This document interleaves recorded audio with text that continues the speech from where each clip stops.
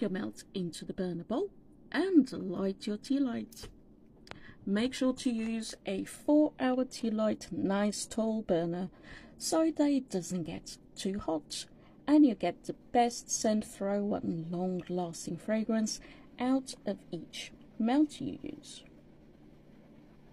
Can we appreciate just how beautiful this wax melt pool is? I could just stare at it for hours.